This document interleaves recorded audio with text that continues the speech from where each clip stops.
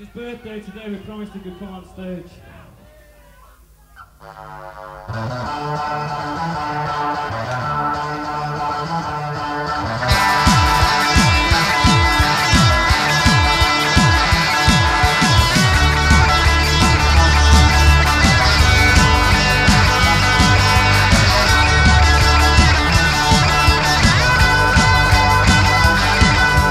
Won't you let me go?